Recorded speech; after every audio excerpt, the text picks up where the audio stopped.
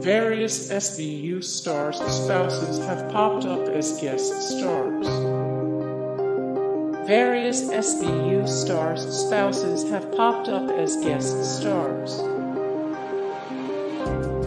Fans initially hated Peter Scanavino's character.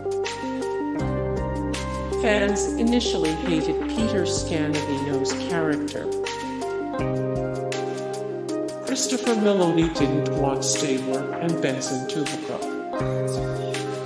Top partners Olivia Benson and Elliot Stabler always had explosive chemistry. Given that inter-office romances were pretty common on SVU, why didn't the pair ever hook up? Christopher Meloni argued that it was important to never cross the line. He said in 2015 that a hookup would be the death knell of that relationship. I think they need to keep that line taut and very clear. Richard Belzer is a big weed smoker. Richard Belzer is a big weed smoker. An episode about parental abuse really ripped Mariska Hargitay.